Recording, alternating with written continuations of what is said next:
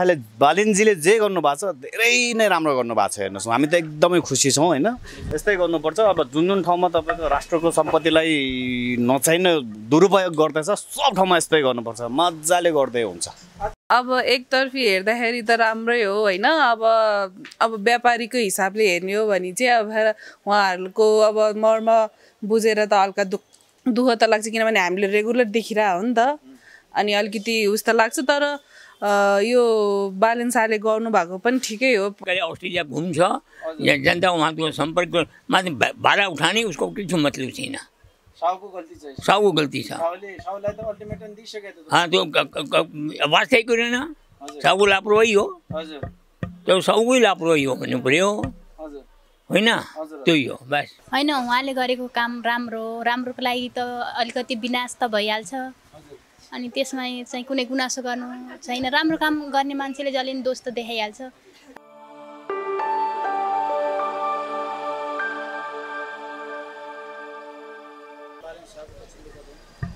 बालिन शाहले बालिनजीले जे गर्नुभएको छ धेरै नै राम्रो गर्नुभएको छ हेर्नुहोस्। हामी त एकदमै खुसी छौँ होइन?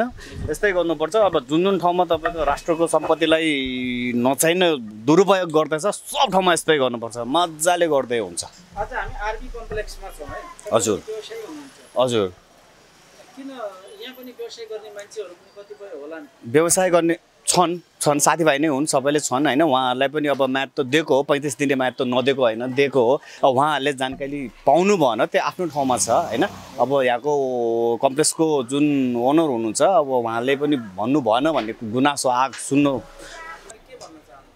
ब्यालेन्स आएको कदम त मलाई एकदम राम्रो लागेको छ होइन? अब जुन जुन ठाउँलाई भनेर छुट्याएको छ त्यो त त्यही राख्नु पऱ्यो नि त होइन?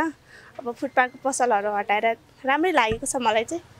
कतिपयले भन्थे पहिला बालिशाली साधारण ठेला गाडीलाई मात्र हटाउनु भयो मकै बेचेर अब गुजारा चलाउने। तर अहिले चाहिँ बालेन शाहले प्रुभ गरिदिनु भयो कि शाह भनेको चाहिँ जस्तो सुकै व्यक्तिलाई पनि यदि अतिक्रमण गरेको छ भने त्यसलाई हटाउन सक्छ भन्ने कुरा हो। नि। अब पहिला पहिला त्यो फुटपाथलाई मात्र हटाउँदा त गाली गरेको थियो नि त मान्छेहरूले। अब त सबै उठायो नि त पसलहरू। अब चाहिँ अब के भन्नु छ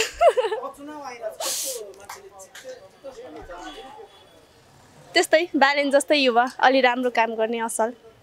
दुईजना पछिल्लो समय सामाजिक सञ्जालमा चर्चित छन् है। राजेन्द्र लिङ्गदेन र रवि लामिछाने यो दुइटामा कसले चाहिँ हुन्थ्यो जस्तो लाग्छ? तपाईँलाई चाहिँ? मलाई त रवि लामी छान नै मनपर्छ। रवि लामिछाने मन हजुर। हुन्छ हस् धन्यवाद हस् थ्याङ्क यू उहाँ म एप्रिसिएट गर्छु। हजुर। आजसम्म त्यस्तो मेयर आएको छैन। उहाँ धेरै तरिके गर्छ मेरो आशीर्वाद छ उहाँसँग। के कुरा मन पर्यो उहाँको? उहाँको एक्सन राम्रो छ पुरै के गर्ने एक्सनै राम्रो छ। उहाँको प्रत्येक पर्सनली आएर एटेन्ड गरेको धेरै खुट लामो खुट आजसम्म त्यो त्यस्तो मेरो म हेरेको छैन। मेरो यहाँ चालिस साल भइसक्यो। आजसम्म त्यस्तो मेरो म हेरेको छैन। हेर्नु भएको छैन हेरेको छैन। धेरै राम्रो मान्छे हो। त्यो तरिका राम्रो छ उहाँको काम गर्ने तरिका धेरै राम्रो छ। म त व्यापारी हो।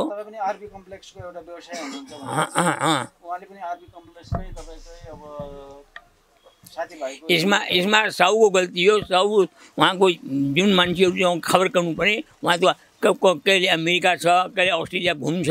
या जनता वहाँको सम्पर्क भा- भाडा उठाने उसको कुछ मतलब छैन। साउको गल्ती छ। साउले साउलाई त अल्टिमेटम दिइसक्यो त। हाँ त्यो वास्तै कुरेन साउको लापरवाही हो। त्यो साउकै लापरवाही हो भन्नु पऱ्यो होइन?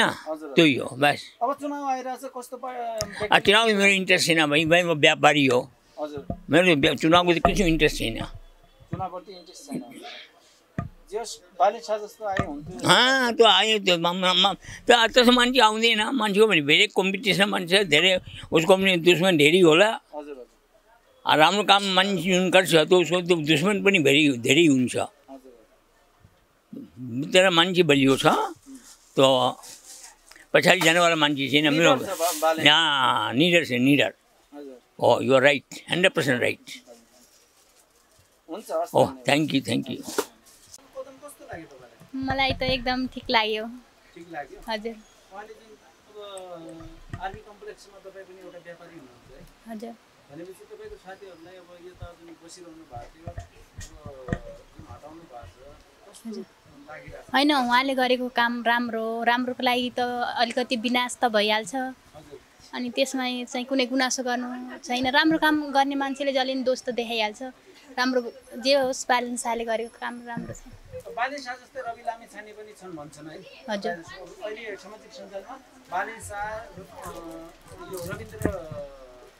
रवि लामी छाने र तपाईँको के अरे राजेन्द्र लिङ्गदेनको बढी चर्चा छ।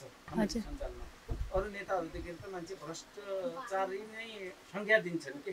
भनेपछि यो दुईजनामा कसले जित्यो हुन्थ्यो जस्तो लाग्छ आगामी चुनावमा चाहिँ? छाने। रवि लामी हजुर। के कुरा मन पर्छ? रवि लामी छानेको म सब इन्टरभ्यूहरू मनपर्छ। उहाँको मनपर्छ? हजुर। उहाँ पनि बालिन शाह बालेन शाह र रवि लामी छाने मलाई एकदम मनपर्छ। तपाईँको नाम के हो? मेरो नाम सन्दीपा घिमिरे। यहाँको अनर हो तपाईँ यहाँको स्टाफ भनौँ। स्टाफ। हजुर। हुन्छ हस् धन्यवाद। चाहिँ राम्रो लागेन भने क्या? कतिजनालाई मन परेन मन परेन। यस्तो दसैँको बेलामा अहिले व्यापारहरू कमाउने बेलामा भत्काइदियो होइन? कतिजना रोइरहेछ होइन? कोही हाँसी हाँसी पसल गरिरहेछ यो राम्रो भएन नि। योभन्दा अगाडि नै दुई चार महिना अगाडि नै भत्काइदिएको भए हुन्थ्यो है। यो चाहिँ धेरै नराम्रो भयो क्या। ए पैँतिस दिन त्यही पनि पैँतिस दिन पनि थोरै नै भयो नि अलि अगाडि नै त्यतिखेरै भत्काइदिएको भए हुन्थ्यो। मिल्दैन। अनि अहिले चाहिँ अब दसैँको बेलामा भत्काउनु राम्रो हो त। त्यो त राम्रो नराम्रो उहाँको सरकारको त्यो कुरा हो है।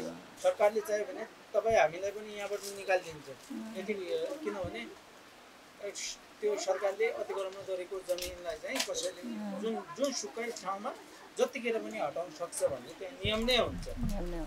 त्यही त अनि सरकारले भने पनि यो त भएन नि यो दसैँको बेलामा चाहिँ यो भत्काउनु त राम्रो होइन नि। सरकारले गरे अलि अगाडि न कि धेरै अलिक पछाडि नै गरे हुन्थ्यो। अब यस्तो बेलामा ठ्याक्क दसैँको व्यापार गर्ने बेलामा भत्काएर कस्तो चिल चिल जहाँ भत्काए पनि यहाँ मात्र होइन जहाँ भत्काए यो बेलामा चाहिँ भत्काउनु नहुने भनेर क्या जहाँ भयो चार महिना अगाडि कि चार महिना पछाडि भत्काइ भत्काएको भए हुन्थ्यो। अब दसैँको बेलामा अब व्यापार हुने बेलामा वर्ष दिनको अब भत्काएर चिल बिल रोएर कराएर भइरहेछ अनि कति नराम्रो भयो। जहाँ भत्काए पनि यहाँ मात्र होइन जता पनि। राम्रो लागेन हो। हुन्छ हस् धन्यवाद। उम्, हजुर स्वागत छ है तपाईँलाई हस् थ्याङ्क यू सो मच अनि कस्तो लागिरहेछ पालिन शाहको पछिल्लो कदम अब एकतर्फी हेर्दाखेरि त राम्रै हो होइन? अब अब व्यापारीको हिसाबले हेर्ने हो भने चाहिँ अब उहाँहरूको अब मर्म बुझेर त हल्का दुख दुःख त लाग्छ किनभने हामीले रेगुलर देखिरहेको हो नि त। अनि अलिकति उस त लाग्छ तर यो बालन शाहले गर्नुभएको पनि ठिकै हो। आखिरमा यो दुःख लागेर पनि कति मान्छे त भोग भोगै पनि बसिरहेका छन् नि। अब यता सटर भाडामा राखेर कतिपयले चालिस पचास हजार महिनाको तिर्न सक्ने त त्यो भोका जनता त होइनन् किन- त्यस्तो भनिरहेका छन्। अब त्यो अब आज एउटाले अतिक्रमण गर्यो भोलि अर्कोले गर्ला अर्कोले गर्ला यो कुरालाई सचेत गराउनु राम्रो कि नराम्रो तपाईँको विचारमा? त्यो त अब जसरी नि पछि हुनै पर्ने कुरा हो होइन। चाहे त्यो अघि होस् या पछि होस् त्यो उहाँहरूले पनि बुझ्नुपर्ने कुरा हो नि त। त्यसो त अलिक के भन्नु होइन?